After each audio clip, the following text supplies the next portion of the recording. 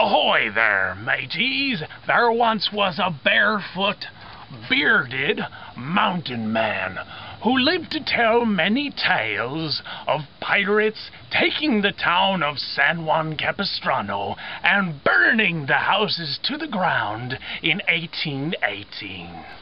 A Mr. Coyote sniffing around a trail full of holes looking for a buck-toothed gopher or a shaky rattlesnake. Of a little child who grew up watching the telly and eating those Flintstones vitamins and playing with Star Wars figurines until one day he decided to go on a walk outside and he found a whole world of biodiversity and flavoursome, flavoursome wild edibles.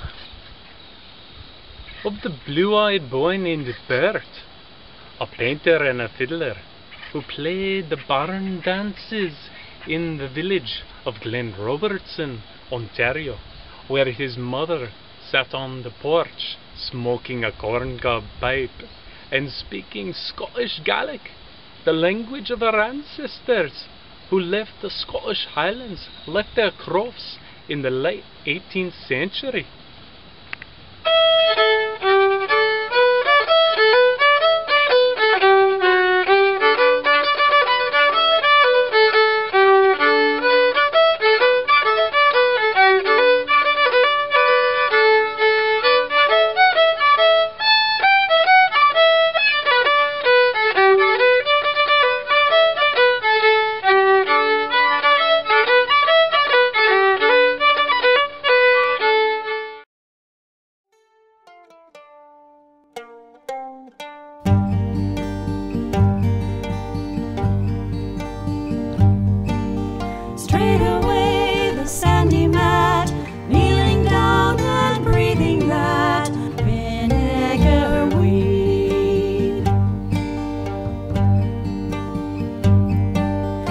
Shaking leaves, the dry winds crack,